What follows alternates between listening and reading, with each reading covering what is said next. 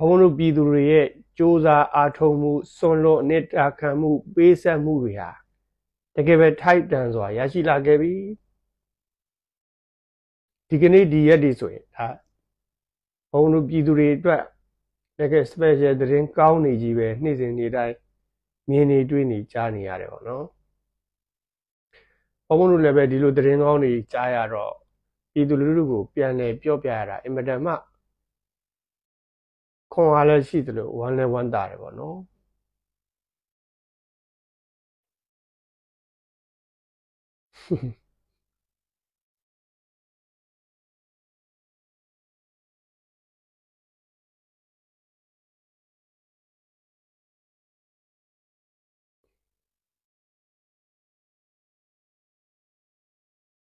အဲ့တော့ဘုံဘုံတို့ပထမဦးဆုံးအနေနဲ့ ရှမ်းပြည်နယ်မြောက်ပိုင်းနတ်ခမ်းမြို့အဝင်ကစစ်ခွေးတွေရဲ့ဂိတ်ကိုတဲ့ TNLA ကဝင်ရောက်တိုက်ခိုက်တာစစ်ခွေးတွေအကုန်လုံးထွက်ပြေးကုန်ကြတယ်နော်1948ခုနှစ်လွတ်လပ်ရေးရပြီးနေတဲ့ကသူ့ကြုံမခံရအောင်ဆိုပြီးတော့မြန်မာနိုင်ငံမှာရှိတဲ့စစ်တပ်ကြီးကို အစ္စရေးကကူညီပံ့ပိုးပေးခဲ့တယ်ယူကရိန်းရုရှားကူညီပံ့ပိုးပေးခဲ့တယ်အစ္စရေးတို့ယူကရိန်းတို့ရုရှားတို့ရဲ့ကူညီပံ့ပိုးမှုကြောင့်အခုမင်းအောင်လိုင်းစစ်တပ်ကြီးဟာနေချင်းညချင်းတို့ပဲအရှင်မွေးတော့ချမ်းသာတာပေါ့နော်အရှင်မွေးတော့ချမ်းသာတာပေါ့ အေးအဲ့ဒီနှစ်ပေါင်း80ကျော်ဆိုတဲ့ Surrender Army ဆိုတဲ့ဂုံတိတ်ခါကြီးကိုတော့မှအခုမထိန်ကြတော့ဘူးစခန်းတွေမှာထပ်ပြေးကုန်ကြတယ်တက်ရင်ကြီးတွေလက်နဲ့ချပြီးအညံ့ခံကုန်ကြတယ်ပေါ့နော်ဒါကြောင့်အခုမြောက်ပိုင်းမှာဆိုရင်စစ်ခွေးတွေကိုတိုက်เสียတော့မလိုဘူးစစ်ခွေးတွေစကန်းတွေထားခဲ့ပြီးတော့ထွက်ပြေးကုန်ကြတယ် တက်ရင်ကြီးတွေလိုက်လက်နဲ့ချပြီးအညံ့ခံကုန်ကြတယ်ဟဲ့ຫນွေဥတော်လည်းကြီးကတကယ်ကိုပြီးပြီးပြင်းပြင်းပဲရုပ်လုံးပေါ်ထွက်လာခဲ့တယ်ပေါ့နော်ခုမြင်ရတွေ့ရတာအမှန်မှစိတ်ချမ်းသာကြကောင်းတယ်ပေါ့နောက်တစ်ခုကအခုမြောက်ပိုင်းမဟာမိတ်တွေကမဲအောင်လာရဲ့တကယ်အထုထုတ်တန်ကြကာကာ6စီးကိုတောင်မှ သိန်းစီရမိခဲ့တယ်၅စီးကတော့ပျက်စီးသွားတယ်တဲ့ဒစည်းကတော့အကောင်တိုင်းကျန်တယ်အဲ့တော့အဲ့အကောင်တိုင်းကျန်တဲ့ဒစည်းနဲ့မြောက်ပိုင်းမဟာမိတ်တွေကရှေ့တန်းမှာအသုံးပြုလို့ရတာပေါ့အဲ့တော့ဘုန်းတို့တိုင်းသားလက်နက်ကန်တွေ PDF တွေတင့်ကားပိုင်သွားပြီနော်တင့်ကားပိုင်သွားပြီရန်သူလက်နက်ကိုလက်နက်ငချင်းစီနဲ့ငချင်းပြန်ကြောရမယ်နော်တင်ကား6စီး ရရှိခဲ့တယ်5စီးကပျက်စီးသွားတယ်တစ်စီးကအကောင်တိုင်းကျန်တယ်အေးအဲ့ဒီတစ်စီးနဲ့ပဲအခုစစ်ခွေးတွေကိုရန်သူလက်နဲ့ကိုလက်နဲ့နဲ့ပြန်ပြီးတော့ငချင်းစီနဲ့ငချင်းကြော်ပေးရမှာပေါ့ဗျာနောက်ကွမ်းလုံမြို့နယ်ကာမိုင်းဒေသရှိစစ်ခွေးတွေရဲ့ခလာရ143တရင်တရင်လုံးကိုတဲ့ဝင်တိုက်တာ တရင်တရင်လုံးဗျာလက်နဲ့ချပြီးတော့အလင်းဝင်နေနော်ဒါကာမိုင်းဒေသမှာရှိတဲ့ခလာရ143လက်နဲ့ချပြီးတော့ကိုအလင်းဝင်နေလက်နဲ့ခဲမိကြောက်တွေဆိုတာကာအစီဘဏ္ဍစီတိုင်မှမသိဘူးနဲ့ဟိပဲဒါကြောင့်ရန်သူလက်နဲ့ကိုလက်နဲ့ငကြင်းစီနဲ့ငကြင်းကြော်ရမယ်ဟင်အခု6ရက်အတွင်းမှာကို တစ်တုံညာနှစ်ခွန်မြောက်ပိုင်းမဟာမိတ်တွေရဲ့စစ်စင်ရေးမှာလက်နက်ချအညံ့ခံတဲ့စခန်းနေတက်ရင်းနေယာနဲ့ချီရှိသွားပြီယာနဲ့ချီရှိသွားပြီတင့်ကား6စီးနောက်စစ်ခွေးမသာပေါင်းယာနဲ့ချီတယ်ဗျရေတွက်လို့တော့အလင်းဝင်တာတော့မှယာနဲ့ချီရှိတယ်မသာတွေကယာနဲ့ချီရှိတယ်လက်နက်ခဲမီးကြောက်တွေဆိုရင်ကားစီးဘယ်နှစီးတက်မှမသိတော့ဘူး။ ဘာလို့လို့စရင်မှတ်တဲ့သူတော်မှမမှတ်နိုင်တော့အောင်အဲ့မှတည်းမှများပြားတယ်ညာကြီးပဲပြီးတော့စက္ကန်းကလည်း100နော်စက္ကန်းပေါင်း100စက္ကန်းပေါင်း100အဲ့တော့မင်းအောင်လိုက်စစ်တက်ကတော့ဟိုဘုံကတိမှာအလူကြီးပေးတယ်လို့ပဲပေါ့နော်ဘုံကတိမှာအလူကြီးပေးတယ်လို့ပဲမင်းအောင်လိုက်တော့ကုန်ပြီပေါ့နော်စက္ကန်းပေါင်း100ဆိုတော့ အားကြောင့်စစ်ကွေးတွေစခန်းတွေကိုထားခဲ့ပြီးတော့နော်နှစ်ပေါင်း80ကျော်ရဲ့တိတ်ခါတွေကိုမထိမ့်မဲနဲ့ထွက်ပြေးတာတွေဩတရင်ကြီးတစ်ခုလုံးလက်နဲ့ကျအညက်ကံပြီးအလင်းဝင်တာတွေတော်တော်လေးများလာတယ်ပေါ့နော်နောက်ကြောင်မဲရဲစကန်းဆိုရင်တဲ့သာသနာအလံကြီးကိုလွှင့်ပြီးတော့ထွက်ပြေးတယ်နော် ကြောင်မဲကရဲစကန်းတစ်တုံညာနှစ်ကိုမဟာမိတ်တွေကိုကြောက်လို့သာသနာအလံကြီးလွှင့်ပြီးတော့ထွက်ပြေးတယ်အမှန်ဆိုရင်အလံဖြူထောင်ရမှာမဟုတ်ဘူးလားအလံဖြူရဲ့သင်္ကေတကလက်နဲ့ချပါတယ်အညံ့ခံပါတယ်လို့အလင်းဝင်ပါတယ်လို့အလံဖြူရဲ့သင်္ကေတလीနောက်စစ်ပွဲမှာအလံဖြူပဲသုံးရမှာလीအခုတော့စစ်ပွဲမှာအလံဖြူမသုံးဘဲနေပါတယ် အလံဖြူနဲ့သာသနာအလံနဲ့မှားပြီးတော့သာသနာအလံကြီးထောင်ပြီးတော့ကြောင်မွဲရဲစကန်ကထွက်ပြေးတယ်နော်သာသနာအလံကြီးထောင်ပြီးတော့ကြောင်မွဲစကန်ကအဲကြောင့်စကွေးကြောက်တာလည်းနှစ်ယောက်မရှိနော်ကြုံကြောက်တွေပေါ့နော်ကြုံကြောက်တွေကြုံလည်းခံကျင်သေးတယ်ပေမာလည်းကြောက်သေးတယ်နော်အနာခံတော့လည်းအတူတူအသာဆန်တော့လည်းအတူတူ အဲ့လူပူမြအဲ့လိုမဟုတ်ဘူးသူတို့ကအသာခံအသာဆန်ရရင်သာအတူတူစံကျင်ကြတာစစ်ကူးတွေကအနာတော့မခံကျင်ကြဘူးအခုပြေးကုန်ကြပြီလေနော်ပြေးကုန်ကြပြီနောက်တစ်ခုကတစ်တုံညာနှစ်ကိုမြောက်ပိုင်းမဟာမိတ်တွေကနောင်ချိုမျိုးနှစ်ဂုတ်ထိတ်တရားကို သိမ့်ပိုက်နိုင်ခဲ့ပြီဂုတ်တွင်တရားပေါ့နောင်ချိုမျိုးနှစ်ဂုတ်တွင်တရားကိုလည်းသိမ့်ပိုက်နိုင်ခဲ့ပြီနောင်ချိုနဲ့ပြိုးလွင်ကနီးနီးပဲကြံတော့တယ်မင်းအောင်လိုက်စစ်တက်ကမြောက်ပိုင်းမဟာမိတ်တွေပြိုးလွင်ကိုလာသိမ့်မှာဆိုလို့ခန္ဓာကြီးတွေအကြီးကြီးတွေတိဆောက်ထားတယ်အဲ့ဒါကရောခံပါလားခံပါလားအခုမြောက်ပိုင်းမဟာမိတ်တွေကရှမ်းပြည်နယ်မြောက်ပိုင်းတစ်ပိုင်းလုံးရှမ်းပြည်နယ်အရှေ့ပိုင်းတစ်ပိုင်းလုံးကုန်ပြီအခုကိုးကန့်ကဆိုလို့ရှိရင် တရုတ်ပြည်ရဲ့အကြီးဆုံးနယ်စပ်ဂိတ်ကြီးချင်းရွှေဟော်ကိုလည်းသိမ်းပိုက်ထားတယ်ကိုးကန့်မြို့ကိုလည်းပဲစစ်အုပ်ချုပ်ရေးကြီးညာပြီးတော့သိမ်းပိုက်ထားတယ်ရှမ်းပြည်နယ်အရှေ့ပိုင်းတစ်ပိုင်းလုံးလည်းပဲမြောက်ပိုင်းမှာတွေသိမ်းပြီးသွားပြီရှမ်းပြည်နယ်မြောက်ပိုင်းတစ်ပိုင်းလုံးကိုလည်းသိမ်းပြီးသွားပြီ။ဩအခု KI နဲ့ AA ကလည်းပဲကချင်ပြည်နယ်ကိုသိမ်းနေပြီ၊စကိုင်းတိုင်းကိုသိမ်းနေပြီ။နော်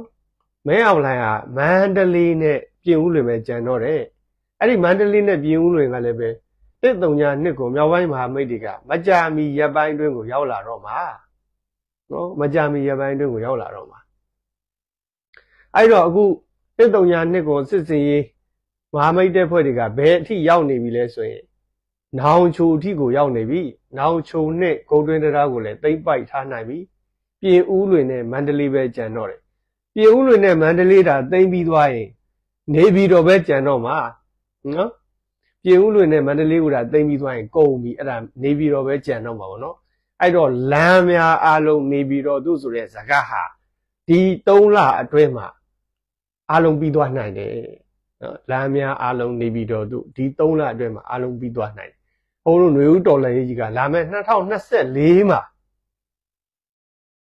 အားလုံးပြီးဆုံးသွားနိုင်တယ်ပေါ့နော်အားလုံးပြီးဆုံးသွားနိုင် နောက်တစ်ခုကစကိုင်းတိုင်းထီးကြိုက်မြို့မှာတဲ့နော်စကိုင်းတိုင်းထီးကြိုက်မြို့နယ်မှာရခိုင်တပ်မတော် A နဲ့ဒေသခံ PDF များကအခုတစ်တုံညာနှစ်ခွန်စစ်စင်ရေးကိုစင်စင်ဝဲနေပြီတစ်တုံညာနှစ်ခွန်စစ်စင်ရေးကအခုဘယ်အထိရောက်သွားပြီလဲဆိုရင်ချမ်းပြည်နယ်မြောက်ပိုင်းအရှေ့ပိုင်းတွေမဟုတ်ဘူးအညာဒေသကိုပဲရောက်နေ အညာဒေသဆိုတာသခိုင်းတိုင်းမကွေးတိုင်းမန္တလေးတိုင်းကိုပြောတာ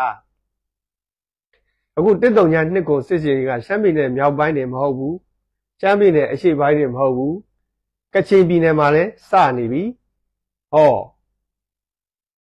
စကိုင်းတိုင်းမှာလည်းစနေပြီအခုထီးကြိုက်မှာ AA နဲ့ PDF တွေကတစ်တုံညာနှစ်ကိုစစ်စင်ရေးကိုစတင်နေကြပြီအဲ့တော့တစ်တုံညာနှစ်ကိုစစ်စင်ရေးက ကချင်ပြည်နယ်စကိုင်းတိုင်းနောက်ရှမ်းပြည်နယ်မြောက်ပိုင်းရှမ်းပြည်နယ်အရှေ့ပိုင်းအကုန်လုံးကိုပတ်သိမ်းနေပြီပေါ့နော်လမ်းများအားလုံးနေပြီးတော့တို့ဆိုတဲ့အတိုင်းပဲမကြခင်နေပြီးတော့မှလမ်းဆုံးကြမယ်စုံကြမယ်ပေါ့နော်နောက်တစ်ခုကနိုင်ငံရေးမှာတိုက်ဆိုင်တယ်ဆိုတာမရှိဘူးတဲ့ဒီတစ်တုံညနှစ်ခွန်ရဲ့ ရလက်ဟာဘလောက်ထိကိုကြီးမားသလဲဆိုရင်ကဘာကြီးကိုတောင်တုံလှုပ်သွားတယ်ကဘာကြီးကိုတောင်ရိုက်ခတ်သွားတယ်အဲ့ဒါကဘာနဲ့တက်တည်ပြမလဲဆိုရင် MOGE နဲ့တက်တည်ပြရမယ် MOGE ကိုဘုန်းဘုန်းတို့ပြည်သူတွေစီးပွားရေးဒဏ်ခတ်ပိတ်ဆို့ဖို့အတွက်အမေရိကန်ပြင်သစ်ဗြိတိန်ကနေဒါတို့ကိုတောင်းဆိုတယ်ဥရောပသမဂ္ဂတို့ကိုတောင်းဆိုတယ်နော် MOGE ဆိုတာမင်းအောင်လာရဲ့သဘာဝ ရေနံနဲ့ဓာတ်ဝိလုပ်ငန်းကြီးတွေကိုပိတ်ဆို့ဖို့အတွက်အခုမင်းအောင်လိုက်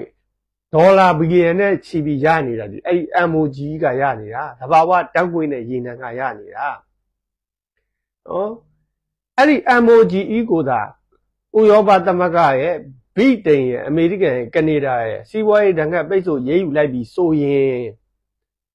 မင်းအောင်လာရဲ့ဒေါ်လာတွေပြတ်တောက်သွားမယ် နော်မင်းအောင်လာရဲ့ဒေါ်လာတွေပြတ်တောက်သွားမယ်နောက်တစ်ခုက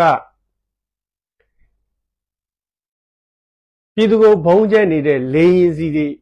ပြတ်တောက်သွားမယ်နောက်တစ်ခုကမဲအွန်လိုင်းကိုပို့ပေးနေတဲ့လက်နက်ခဲယံမိကြောက်ကုန်ချမ်းတွေပြတ်တောက်သွားမယ်နော်ဒါကြောင့် MOG ကိုအမေရိကန်ဥရောပသမဂ္ဂကနေဒါဗြိတိန်တို့က ဒဏ်ခတ်ပိတ်ဆို့လိုက်တဲ့အတွက်ကြောင့်မဲအွန်လိုင်းမှာဘာတွေထိခိုက်သွားမလဲဆိုရင်တကက်မဲအွန်လိုင်းရဲ့ထိခိုက်မှုနစ်နာမှုဆုံးရှုံးမှုကအကြီးကြီးပဲဘလောက်တောင်ကြီးမှလဲဆိုရင်ဘီလီယံနဲ့ချီပြီးရနေတဲ့မဲအွန်လိုင်းရဲ့ဒေါ်လာဝင်ငွေတွေပြတ်တောက်သွားမယ်လေစီတွေပြတ်တောက်သွားမယ်မဲအွန်လိုင်းကိုတင်ဖို့နေတဲ့လက်နက်ခဲရဲ့မီးကြောက်ကုန်ချမ်းပစ္စည်းတွေပြတ်တောက်သွားမယ်လေစီတွေပြတ်တောက်သွားမယ်ဆိုရင်မဲအွန်လိုင်းလေနေ ပြန်ဖို့အင်မတန်မှခက်ခဲလာမယ်လက်နက်ခဲရဲ့မီးကြောက်ကုန်ချမ်းပစ္စည်းတွေပြတ်တောက်သွားမယ်ဆိုရင်မဲအွန်လိုင်းပြည်သူလူထုကိုနှိပ်စက်အကြမ်းဖက်နေတဲ့လက်နက်ကြီးတွေမရှိတော့ဘူးနော်အဲ့လေစီတွေဝယ်ဖို့လက်နက်ခဲယံမီးကြောက်ကုန်ကျန်းပစ္စည်းတွေဝယ်ဖို့ဒေါ်လာတွေပြတ်တောက်သွားမယ်ဆိုရင်မင်းအွန်လိုင်းသွားပြီပေါ့အဲကြောင့်မင်းအွန်လိုင်းအတွက်အခု MOG စီးပွားရေးဒဏ်ခတ်ပိတ်ဆို့ရေးယူခံရတာဒီအင်မတန်မှ ကြီးမားတဲ့ဆုံးရှုံးမှုကြီးတစ်ခုဖြစ်တယ်မင်းအွန်လိုင်းအတွက်အင်မတန်မှနစ်နာတယ်ပေါ့နော်ထိကြိုက်တယ်အဲကြောင့်အမေရိကန်ကဘုန်းတို့ပြည်သူတွေအတွက်သတင်းကျွတ်လက်ဆောင်ပေးလိုက်တာတကယ်အင်မတန်မှကြီးမားတဲ့သတင်းကျွတ်လက်ဆောင်ကြီးပဲအဲ့ဒီ MOGE ကိုစီးပွားရေးတန်ခတ်ပိတ်ဆို့ရေးယူပေးဖို့အတွက်ဘုန်းတို့ပြည်သူတွေ၃နှစ်နီးပါးတော့စူးစမ်းလာခဲ့ကြရတာအခုတစ်တုံညာနှစ်ကို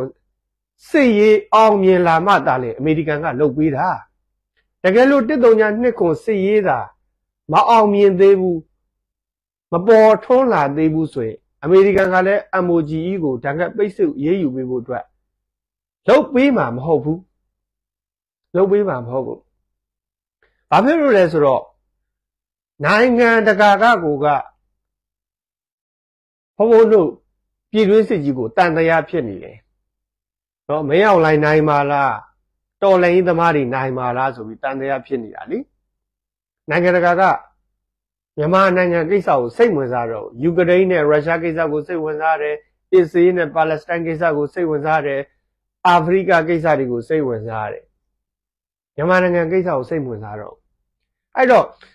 မဲအောင်လိုင်းနိုင်ပါလားတော်လိုင်းဘတ်တော်သားတွေနိုင်ပါလားဆိုတာနိုင်ငံတကာကကူကသူတို့တန်တရားရှိတယ်တန်တရားရှိတော့ သူတို့ရမ်းမလို့တော့ရမ်းမလို့တော့အခုတစ်တုံညာနှစ်ကိုမြောက်ပိုင်းမဟာမိတ်တွေရဲ့စစ်စေးရဘလောက်ထိ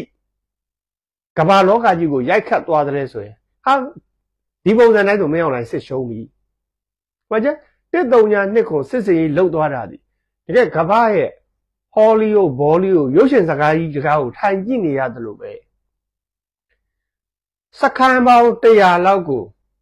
6ရက်ထဲနဲ့ bro bro bro bro နဲ့တိမ်သွားတာကွာရုပ်ရှင်စကားဆန်လိုက်တာဂိမ်းဆန်လိုက်တာနော်ရောက်ရောက်ရုပ်ရှင်စကားဆန်ဆန်ဂိမ်းဆန်ဆန်ကိုတစ်တုံညာနှစ်ခုကသူတို့ရဲ့စစ်စေးရေးတွေကိုအချိုးကြက်ကြက်နဲ့လှုပ်ပြသွားနိုင်တာအဲ့တော့ကဘာကြီးကသဘောကျပြီပေါ့အဲ့တော့အမေရိကန်တို့ဗြိတိန်တို့ကနေဒါတို့ကရောမင်းတို့တစ်တုံညာနှစ်ကိုစစ်စင်ရေးအတွက် ရလက်ဟာ MOG ကိုငါတို့ဒဏ်ခတ်ပိတ်ဆို့ရေးယူပေးလိုက်တာပဲတကယ်လို့တစ်တုံညာနှစ်ကိုစစ်စင်ရေးတာအခုလိုပေါ်ထွက်မလာဘူးအခုလိုမအောင်မြင်ခဲ့ဘူးဆိုရင်အမေရိကန်တို့ကနေဒါတို့ဗြိတိန်တို့ကလည်းပဲ MOG ကိုဒဏ်ခတ်ပိတ်ဆို့ရေးယူဖို့အတွက်သူတို့တုတ်ဆိုင်နေဦးမှာပဲတွေ့ဝေနေကြဦးမှာပဲနော်ဒါကြောင့်နိုင်ငံရေးမှာတိုက်ဆိုင်တယ်ဆိုတာမရှိဘူးဆိုတာအဲ့ဒါကိုပြောတာ ဒါတိုက်ဆိုင်ရင်ဖြစ်လာတာမဟုတ်ဘူးတမင်တကာကိုရည်ရွယ်ချက်ရှိရှိနဲ့ကိုဖြစ်လာတာနော်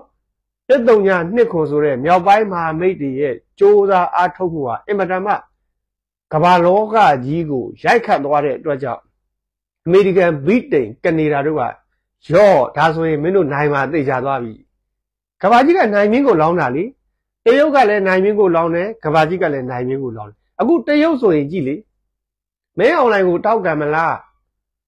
တစ်တုံညာနှစ်ကိုကိုထောက်ခံမလားဆိုရင်မင်းအွန်လိုင်းကိုထောက်ခံလို့မရတော့ဘူး तू တစ်တုံညာနှစ်ကိုကိုထောက်ခံရတော့ဘာဖြစ်လို့လဲသူ့ရဲ့စီးပွားရေးတွေတရုတ်ရဲ့စီးပွားရေးတွေကရခိုင်ပြည်မှာရှိတယ်ကချင်ပြည်မှာရှိတယ်ရှမ်းပြည်နယ်မြောက်ပိုင်းအရှေ့ပိုင်းမှာရှိအဲ့တော့ရခိုင်ပြည်နယ်ကချင်ပြည်နယ်ရှမ်းပြည်နယ်မြောက်ပိုင်းအရှေ့ပိုင်းကိုထိန်းချုပ်ထားတဲ့ သူတွေနဲ့ပဲသူကစကားပြောတော့မှာ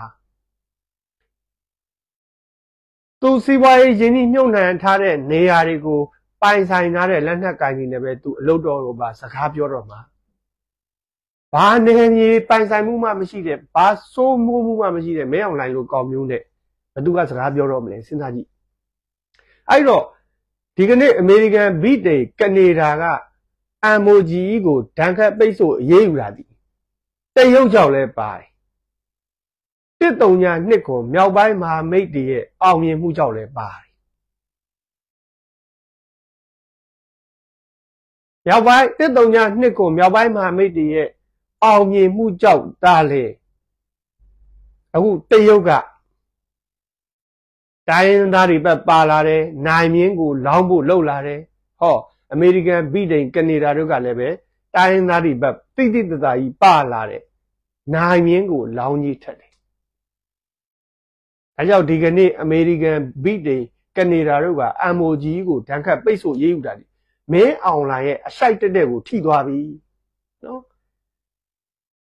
မင်းအောင်လိုင်းရဲ့အရှိုက်တက်တဲ့နူရဝဲဆွဲဆိုတာအဲ့ဒါကိုပြောတာမင်းအောင်လိုင်းကနူပါတယ်ဆိုမှဝဲထက်ဆွဲတော့ပို့ဆိုးသွားပြီပေါ့နော်တစ်တုံညာနှစ်ကိုစစ်စစ်ရောက်လည်းပဲ မင်းအောင်လိုင်းတနိုင်ငံလုံးကိုစွန့်လွတ်လိုက်ရသလို MOG ကလည်းဒဏ်ခတ်ပိတ်ဆို့ရေးယူလိုက်တဲ့ကြောင့်ဒေါ်လာတွေပြတ်တောက်သွားမယ်ဟောလက်နက်ခဲမီးကြောက်ကုန်ကျန်းပစ္စည်းတွေပြတ်တောက်သွားမယ်လင်းစီတွေပြတ်တောက်သွားမယ်တော်တော်လေးကိုအရှိုက်ထိသွားတယ်တော်တော်လေးကိုနှစ်နာသွားတယ်ဒါကြောင့်ဒီကနေ့အမေရိကန်ကပိတ်ဆို့လိုက်တဲ့ MOG ဟာအမတန်မှအရေးပါတယ်နော် MOG ဒါကပိတ်ဆို့အရေးခံတာအမတန်မှအရေးပါတယ် အဲ့ဒီ MOGE ဒဏ်ခတ်ပိတ်ဆို့အရေးယူရတာဒီဒါတရုတ်ရဲ့လက်ချက်လည်းမကင်းဘူး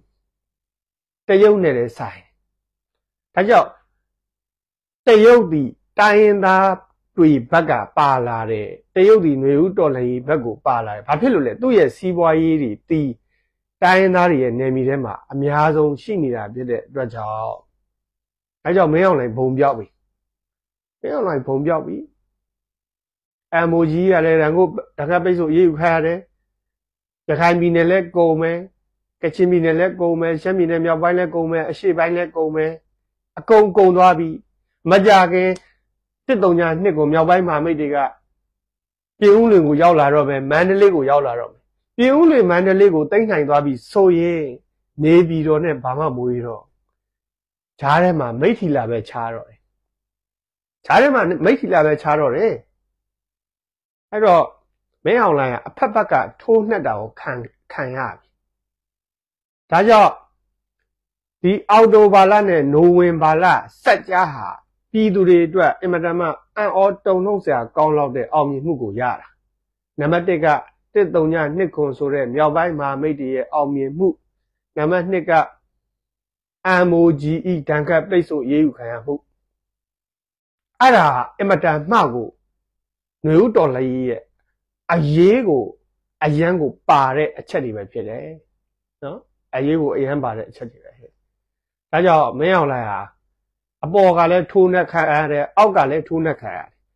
အပေါ်မီးအောက်မီးနဲ့အဖုတ်ခံရတဲ့ဘိန်းမုတ်လို့ဖြစ်နေတာမင်းအောင်လိုက်ကဘိန်းမုတ်လို့ဖြစ်နေတာအပေါ်မီးဆိုတာက MOG ကဒဏ်ခတ်ပိတ်ဆို့ရေးယူခံလိုက်အောက်မီးဆိုတာကတစ်တုံညာနှစ်ကိုမြောက်ပိုင်းမဟာမိတ်တွေကဖုတ်တာ ဒါကြောင့်အပေါ်မီးအောက်မီးနဲ့မင်းအောင်လိုင်အဖုတ်ခံနေတဲ့ဘိန်းမုတ်ပဲသွားပြီမင်းအောင်လိုင်တော့နော်မင်းအောင်လိုင်တော့သွားပြီနောက်တစ်ခုကတကယ် special သတင်းကြီးနောက်တစ်ခုကလည်းဘကိုးတိုင်းအခုဘကိုးတိုင်းကြောင်မဲနဲ့နက်တလင်းမှာဆိုနော် KNU ကပြည်သူ့အုပ်ချုပ်ရေးကြီးညာလိုက်ပြီဘကိုးလည်းပဲကုန်ပြီ ဘကိုးစစ်မတိုက်ဘူးစစ်မတိုက်ဘူးနဲ့အခု KNU လက်ထဲတွေတော်တော်များများရောက်နေ PDF တွေလက်ထဲရောက်နေအခုကဲဘကိုးတိုင်းရေတာရှည်မြို့နယ်မှာတဲ့တိုက်ပွဲ17ကြိမ်ဖြစ်သွားပြီးတော့စစ်ခွေးတွေဘက်ကစစ်ကြောင်းမူနှစ်ကောင်အပါဝင်စစ်ခွေး80သေးတယ်စစ်ခွေး80တောင်သေးတာနော်ဒါပဲခူးတိုင်းရေတာရှိမှာစစ်ကြောင်းမူနှစ်ကောင်ပါတယ်စစ်ခွေး80တောင်သေးတယ် အဲ့တော့ပဲခူးတိုင်းမှာလည်းပဲ KMU ကဖုတ်တယ်ဟောတနိုင်ငံလုံးဖုတ်တယ်ဗျာဒါကြောင့်ဒီတစ်ပုံညာနှစ်ကိုစစ်စင်ရေးဆိုတာကကချင်ပြည်နယ်မှာတင်ပဲမဟုတ်ဘူးရှမ်းပြည်နယ်မြောက်ပိုင်းမှာမဟုတ်ဘူးရှမ်းပြည်နယ်အရှေ့ပိုင်းမှာမဟုတ်တနိုင်ငံလုံးကိုဖုတ်တာ PDF တွေကလည်းအဖက်ဖက်ကဖုတ်တယ် KNU ကလည်းဖုတ်တယ်ချင်းကလည်းဖုတ်တယ်ကရီနီကလည်းဖုတ်တယ် PDF တွေကလည်းဖုတ်တယ်အကုန်ဖုတ်တယ် ပြီးတော့အမေရိကန်ကပါဝင်ဖုတ်လိုက်သေးတယ် MOGE ကိုဒဏ်ခတ်ပိတ်ဆို့အရေးယူတော့ဝင်ဖုတ်လိုက်တရုတ်ကလည်းဝင်ဖုတ်လိုက်သေးတယ်အဲ့တော့မင်းတို့လည်းကုန်ပြီပေါ့ကုန်ပြီပေါ့ဒါကြောင့်ဒီကနေ့တစ်တုံညာနှစ်ခွင်ရဲ့စစ်စင်ရေးဟာနေရာကွက်ကြားမိုးရွာတာမဟုတ်ဘူးတကယ်ကိုရည်ရွယ်ချက်ရှိရှိနဲ့ပလန်တွေကိုတေချာဆွဲထားပြီးတော့ကိုတတိုင်းလုံးတပြီလုံးကိုနေရာအလွတ်မရှိကိုဖုတ်နေတာ နေရာအလွတ်မရှိကိုဖုတ်နေတာနေရာအလွတ်မရှိကိုဖုတ်နေတာအခုစကန်းနေအများကြီးသိခံလိုက်ရတဲ့မင်းအောင်လိုက်อ่ะဘာထွက်ပြောလဲဆိုတော့ KIA ပေါ်ထားတဲ့စိတ်ထားတွေဟာလုံးဝသိခံနိုင်မှုမရှိတော့ဘူးသိမခံနိုင်တော့ဘူးဟမ်တိုင်းသားလက်နက်ကိုင်းတွေ KIA တွေအပေါ်မှာ သူသိခံထားရတာကြာပြီတဲ့အခုဒီပုံစံနဲ့ဆိုသူသိမခံနိုင်တော့ဘူးမင်းအောင်လိုက်က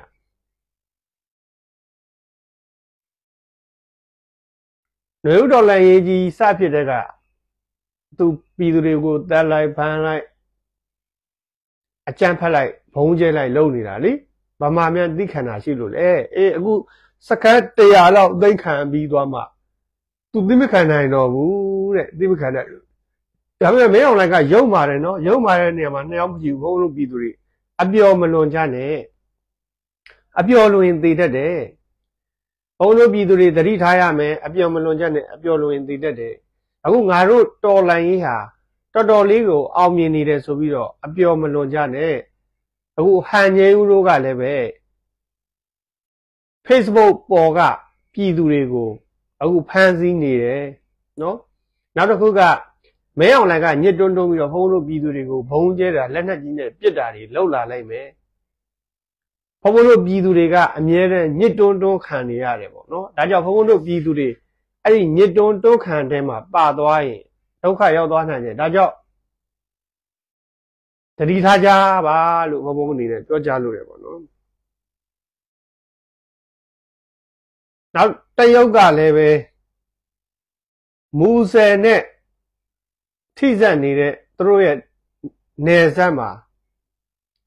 တန်ကြပ်ကာကားတွေနဲ့အခုစစ်ရေးပြပြီးတော့လုံခြုံရေးယူထားတယ်တရုတ်ပြည်ဘက်ထဲကိုကူးလာမှာဆိုလို့တရုတ်ပြည်ဘက်ထဲကိုကူးလာမှာဆိုလို့တရုတ်စစ်တပ်ကလည်းပဲတန်ကြပ်ကာကားတွေနဲ့လုံခြုံရေးယူထားတယ်စစ်ရေးပြနေတယ်နော်စစ်ရေးပြနေတယ်ဘာလို့သူ့ရဲ့စီးပွားရေးတွေကလည်းပဲ ကမ်းပြည်နယ်မြောက်ပိုင်းတို့အရှေ့ပိုင်းတို့ကချင်ပြည်နယ်တို့ရခိုင်ပြည်နယ်တို့မှာရှိတယ်လေနောက်တစ်ခုကမဲအွန်လိုင်းကပြောရတာမဟုတ်ဘူးဟိုမှာကချင်ပြည်နယ်မှာဆိုလို့ရှိရင်လည်းတရုတ်ပြည်ဘက်ထဲကိုလက်နက်ကြီးတွေကြအခုကိုကန့်နန်းရွှေဟော့ချင်းရွှေဟော်တို့မှာဆိုလို့ရှိရင်လည်းပဲတရုတ်ပြည်ထဲကိုလက်နက်ကြီးတွေကြဒါကြောင့်တရုတ်ကအခုစီရေးပြပြီးတော့တခါတည်းကိုအစ်စ်အနေထားယူထားတာဘာဖြစ်လို့သူ့ဘက်ထဲကိုလက်နက်ကြီးတွေရလာ ရောက်လာမယ်ဒါမှမဟုတ်စစ်ခွေးတွေကသူ့ဘက်ထဲကိုထွက်ပြေးလာမယ်သူ့ဘက်ထဲကိုဘုံကျဲမယ်ဆိုရင်တရုတ်ကပြန်စော်တော့မှမင်းအောင်နိုင်စစ်တပ်ကိုဒါကြောင့်အခုတရုတ်ကမူဆယ်နယ်စပ်မှာစစ်ရေးအနေထားအသင့်ပြင်ထားတယ်ဆိုတာနယ်ကျွံလာတဲ့စစ်ခွေးတွေကိုစော်လို့ချောင်းနေတာလေရင်နဲ့နယ်ကျွံလိုက်လေရင်ကိုစော်မှာပဲစစ်ခွေးတွေနယ်ကျွံလိုက်စစ်ခွေးတွေကိုစော်မှာပဲအဲ့တော့နယ်ကျွံလာတဲ့စစ်ခွေးတွေကိုဟိုက ဖမ်းပြီးတော့အကုန်စော်မှာပဲเนาะတရုတ်ကလည်းအသင့်ပြင်ထားပြီးပြီနောက်တစ်ခုဝါကလည်းဒီကနေ့ဘာပြောလဲဆိုတော့ကုန်းချောင်းပဲဖြစ်ဖြစ်လေချောင်းပဲဖြစ်ဖြစ်နယ်ကျွံလာလို့ကတော့ဝါကလည်းစော်မှာပဲတဲ့အခုဖြစ်နေတဲ့ပြဿနာထဲမှာ तू မပါဘူးတဲ့အဲ့ဒီကုန်းချောင်းကပဲဖြစ်ဖြစ်လေချောင်းကပဲဖြစ်ဖြစ်နယ်ကျော်လာလို့ကတော့စော်မှာပဲတဲ့အဓိကပြောချင်တာကမင်းအောင်နိုင်ကိုပြောချင်တာ မင်းအောင်နိုင်စစ်တပ်ကကောင်တွေကလေချောင်းနဲ့လေဘော်ကတွေ့ကြရအကုန်လိုက်ပြစ်တာလीနော်တွေ့ကြရအကုန်လိုက်ပြစ်ဝမှာကလင်းပြစ်တဲ့လက်နက်တွေရှိရလीအဲ့တော့ကုန်းချောင်းကပဲဖြစ်ဖြစ်လေချောင်းကပဲဖြစ်ဖြစ်ရန်ဆလာရင်နယ်ကျော်လာရင်တွေ့ကြရလိုက်ပြစ်ပြီးဖြက်စီးခဲ့ရင်ဝါကငြိမ်နေမှာမဟုတ်ဘူးတဲ့စော်မားတဲ့အသင့်အနေထားပြင်ထားပြီးသွားပြီအဲ့တော့အခု စစ်ခွေးတွေတရုတ်ဘက်ကိုပဲနေကြောကြောဝါဘက်ကိုပဲနေကြောကြောဝါရောတရုတ်ရောကစစ်ရေးအသင့်ပြင်ထားပြီးသွားပြီအေးစစ်ခွေးတွေနေကြောလို့ကတော့အဖောက်ခံရမှာဟဲ့အတော့ခံရမှာပဲနော်